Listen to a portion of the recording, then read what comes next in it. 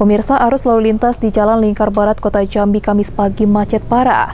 Kemacetan yang terjadi sejak Rabu malam tersebut disebabkan adanya truk bermuatan batu bara yang mengalami kecelakaan dan terguling hingga badan truk dan muatannya menutupi jalan dan menyebabkan kemacetan hingga belasan kilometer.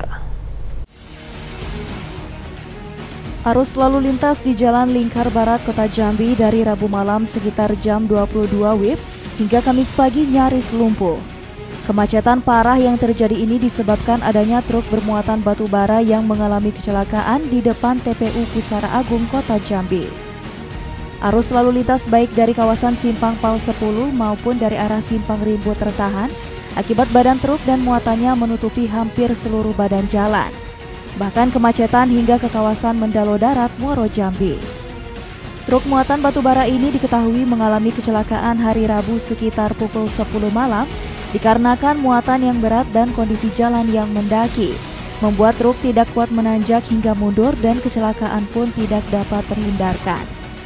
Di sini ada mata itu pataan gitu. Iya.